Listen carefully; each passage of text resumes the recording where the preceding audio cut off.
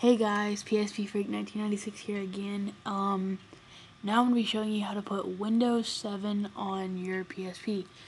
So, all you need is, once again, your USB cable, your PSP, your computer. So go to the link in the description, it's on FileFront, and download the zip file. Um, unzip it, and then you'll get a folder called Win7 which obviously stands for Windows 7.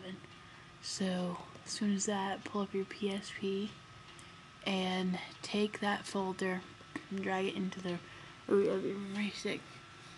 Um, should take a little bit. It's basically the exact same thing as the video I put up before on how to put uh, DigiPlay, and pretty much the same as all the other ones.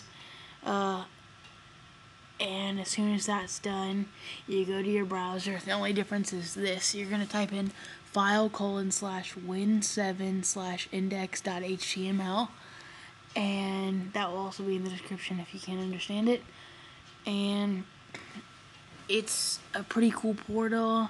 If you have any problems send me a message or leave a comment and I will answer them for you I know I haven't been showing you me playing the actual portals on my PSP, but that's just because my camera's not working right now.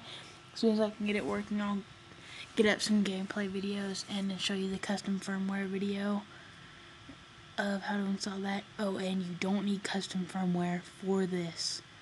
So, thank you for watching and subscribe.